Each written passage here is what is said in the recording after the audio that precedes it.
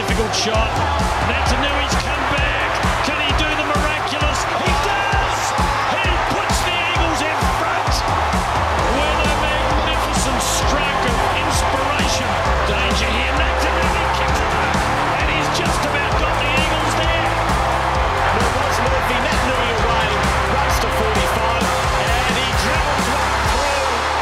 And a star is born.